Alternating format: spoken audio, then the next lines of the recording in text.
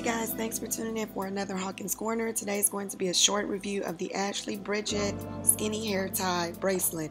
If you work out and you're always looking for somewhere to hold your hair tie, this is a very fashionable and stylish way to do it.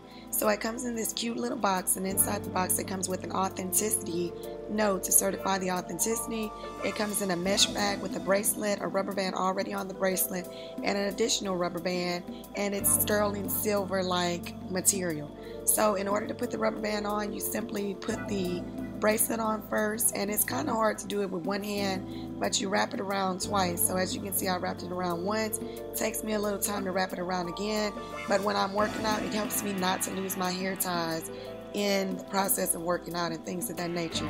So as you can see, it's super easy. Here's the additional rubber band. I like the fact that it does come with the rubber band. I like the fact that it's a bracelet, so if I want to turn it on the other side, no one's going to know that it's holding my rubber band. So if you're interested, check out the link. Thanks so much for watching. Don't forget to subscribe to my social media, and I'll see you guys next time on Hawkins Corner.